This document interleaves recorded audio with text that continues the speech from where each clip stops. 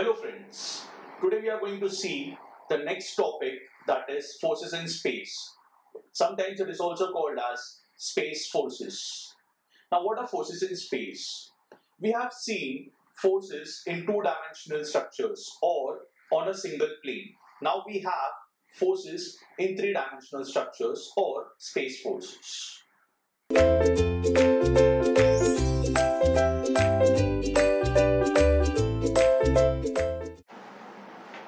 Space forces and what is required to solve space forces we'll see in detail how to go about it. The first part that we'll be concentrating is to find out the resultant of a force in the space or number of forces in the space and then after that we are going to do something which is related to equilibrium what we have already done. In this case we'll be having forces in the space and we have to find out the equilibrium condition for those forces.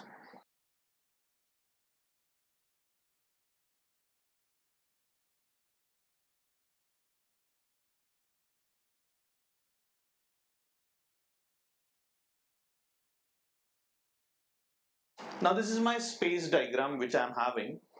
Now if I say there is a force passing between two points, say A and B,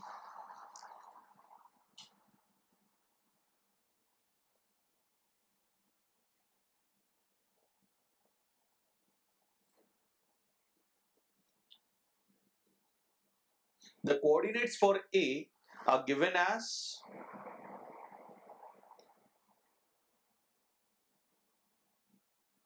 whereas for B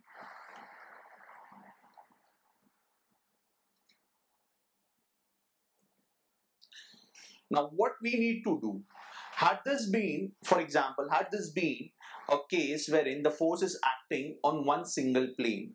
Now if you just try to visualize this force on the XZ plane, so it would have been very simple for us. We have seen the rectangular components, how we how we take the rectangular components of a force inclined at some angle and then we try to find out the resultant. Now in this case what is happening is I'm having the third axis as well. So what I need to do in this is I need to find out the components along each axis. The same thing what we were doing in two dimensional. We need to find out the fx component, fy component and the fz component also. So before that we need to brush up a few small basic concepts of vectors. Now as we know force is a vector quantity so I can say that it is passing through A, I mean uh, going through A and B. So this is the line of action of the force. So I'll say this is my force and to represent this force in the vector form, I write it as F bar. Now, how do I represent a force as a force vector in three-dimensional structures? To do that, I should be knowing the magnitude of the force and the unit vector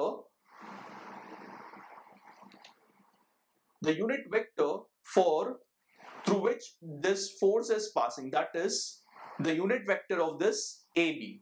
So if I get a dot product of these two values I mean two uh, entities then I can say that the force vector has been calculated. So I'll just sh show you how to go about this. We all know how to calculate a unit vector.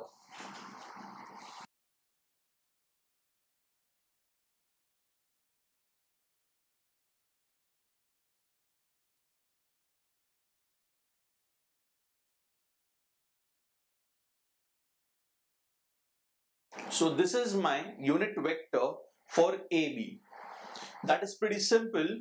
Whatever values you have like in this case the force is starting from A going through B the coordinates of A are x1 y1 z1 and for B it is x2 y2 and z2 so to find out the unit vector what we do is we subtract from this ending point to this original point or the originating point So it is x2 minus x1, y2 minus y1 and z2 minus z1. This is very important. If we take this in the reverse direction, then the whole magnitude goes in the negative side. That means the force cut direction changes. The force which was acting in this direction becomes a force acting towards the origin. So that is which we don't want to take place right now. So it is always you have to take care check the direction of the force. It is going from a to b. So we subtracted like b minus a. So you have to take care of that. Now this is how i have got the unit vector. Now to get the magnitude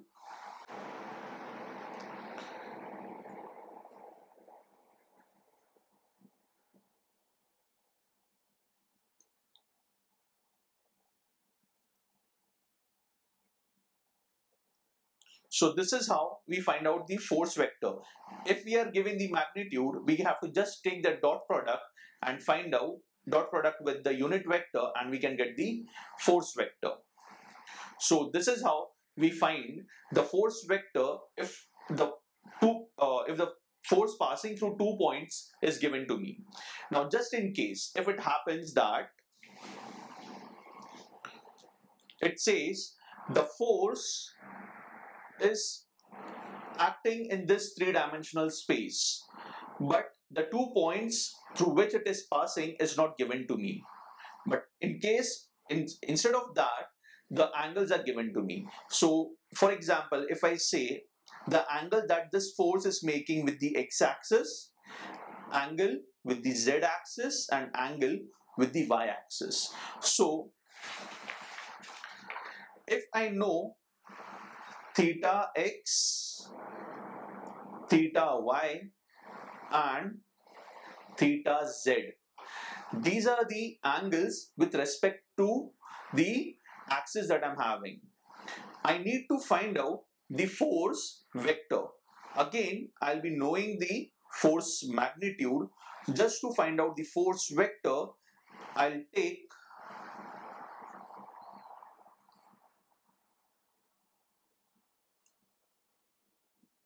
it is f cos theta x i f cos theta y j plus f cos theta z k. So this is how I can calculate the force vector if the angles are given to me. This I can simplify and write as fxi plus fyj plus fzk. This is my force vector. I can simplify this as cos theta x is nothing but fx by f.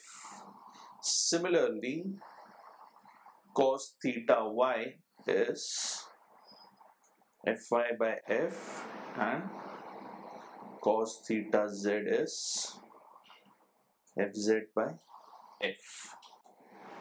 You all should remember that there is one identity that we had studied and that is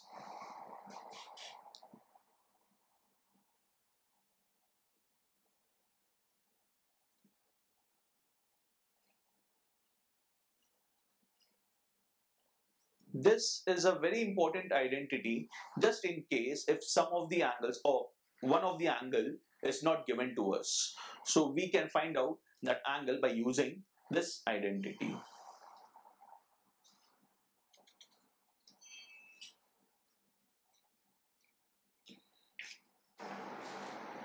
Now we have seen that how to find the force vector. Now if I want to find out the moment of a force about a point, what do we do? For example, in the case of a two-dimensional figure or two-dimensional force, if we have to find the moment, we used to just take the perpendicular distance and multiply it. Now in this case, in space forces, what we need to do is, we need to first find out the force vector as you have seen how we calculate the force vector. Then we have to find out the position vector of the force with respect to the point about which I want to take the moment. Now, if I just say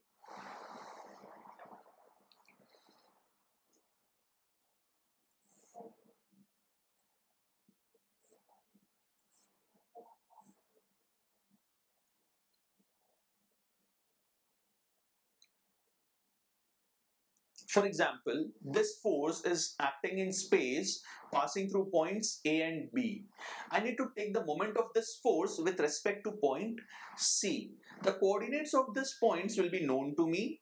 Like in this case, I'll say x1, y1, z1.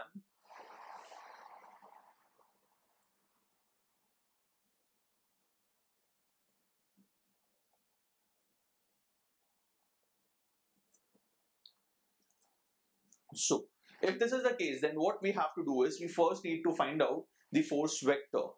Finding out the force vector is a simple task now. What we do is we know the magnitude and we multiply this magnitude or we take the dot product of this magnitude with the unit vector of through the points uh, I mean through the points which, uh, through which the force is passing. So that is F bar is nothing but magnitude dot product a, B. Now once I get this, what I need to do is I need to find out the position vector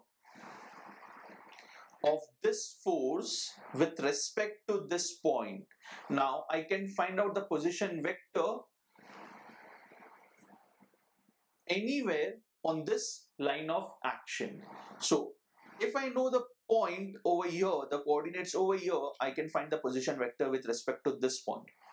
If I know this point, I can find the position vector with respect to this point. But right now, I know these two points, A and B. So, this is my position vector R. Now what I need to do in this case, I need to take moment about C. So the line of action goes from C to A. So when I'm taking the position vector, I write it as R C A. So when I'm writing the position vector, it becomes x1 minus x3 i y1 minus y3 j plus z1 minus z3 k. Now once we get this position vector, I'll simplify this. I'll write it as Rxi Ryj Rz K. Now all I need to do is I need to take the dot product of this position vector and the force vector. So that happens to be moment about C for the force and since I'm finding the force vector bar. And it is the cross product. So I'll write R cross F which is nothing but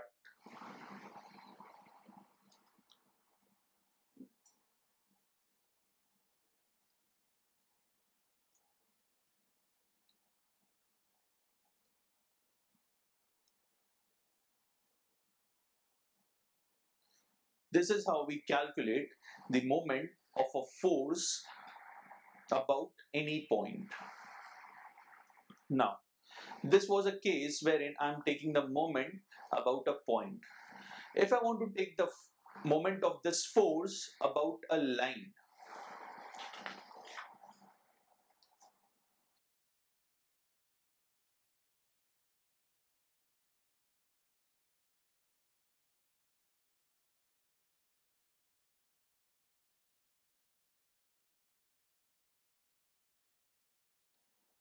Now, if I want to find out the moment of this force AB with respect to this line, we have to again follow the same procedure with one extra step.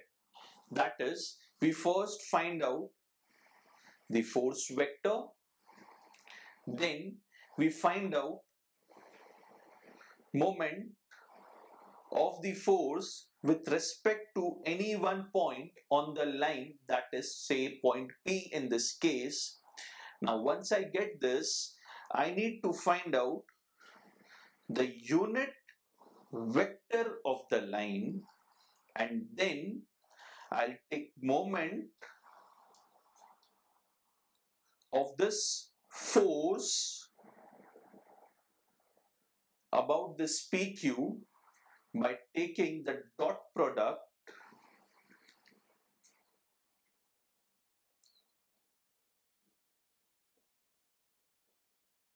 of this force moment vector and this unit vector. So that is nothing but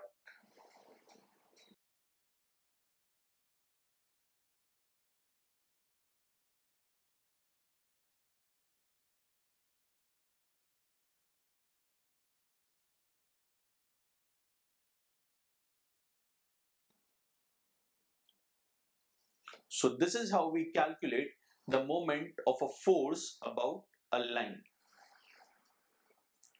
Now this is the basic that we have been doing. Now if I want to find out the resultant of a force, it is same as what we were doing in two-dimensional structures. For example, if I have n number of forces acting, so in this case, all I need to do is to find out the resultant it will be the summation of all the force vectors. For example, if I'm having three forces acting, I'll first find out those force vectors, that is each force vector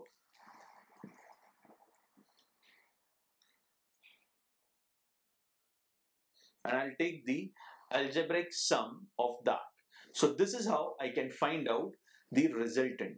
Now this resultant will be having the three components Rx, Ry and Rz.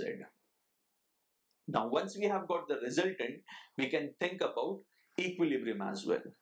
In two-dimensional structures, uh, for or the force system, we have seen that the equilibrium condition was for x-axis and the y-axis or the horizontal direction and the vertical direction. Now in this case, since we are having a three-dimensional space force, equilibrium condition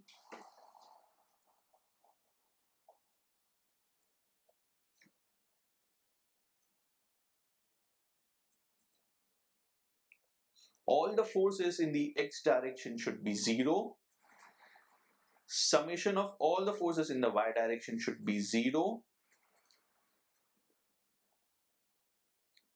along z also 0 then moment should be 0 along each axis. So this is the equilibrium condition. So we have seen that how to find out the resultant of a space force and the equilibrium condition for space forces.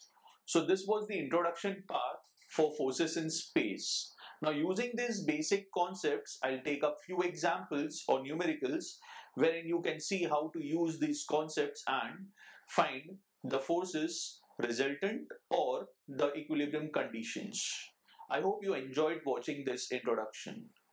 Thank you.